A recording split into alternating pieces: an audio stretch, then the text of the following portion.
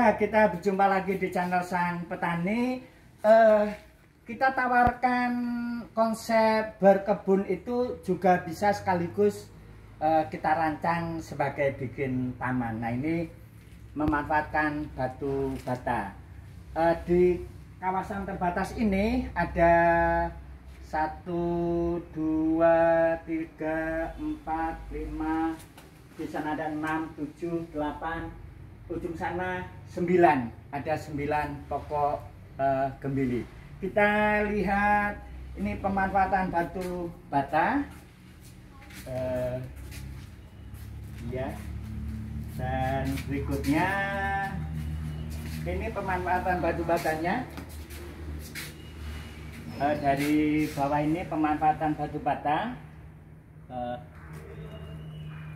kita rekomendasikan pemanfaatan sarana alam di antaranya batu bata kon, uh, kalau konblok sudah diolah digunakan konblok uh, batu bata. Kita akan lihat juga pemanfaatan batu bata di anak tuha Lampung Tengah. Uh, nanti kita akan lihat. Kita akan lihat beberapa tayangan contoh-contoh uh, pemanfaatan batu bata. Lanjut beri hati untuk tanaman pangan ini dia benteng batu bata untuk benteng tanaman. Ini dia tanamannya.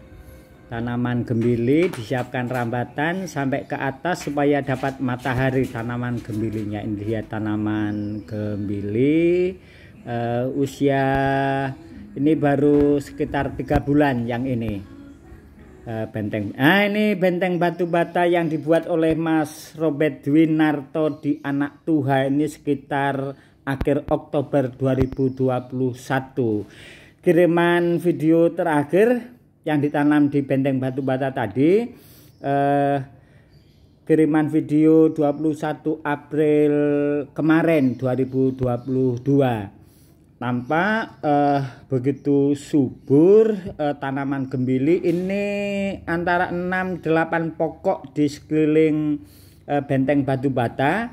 Dulu di sini ada batang sawit rupanya sudah lapuk roboh lalu diganti. Itu nampak uh, dengan uh, rambatan-rambatan ada batang kayu lalu di sana itu batang bambu bambu utuh di beberapa eh, bambu ditegakkan. Nampak subur sekali.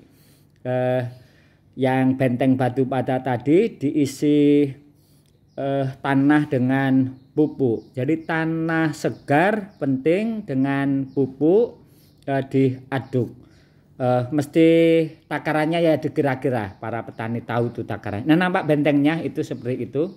Uh, ini di halaman rumah. Uh, demikian subur. Mari lanjut beri hati untuk tanaman pangan. Salam pet.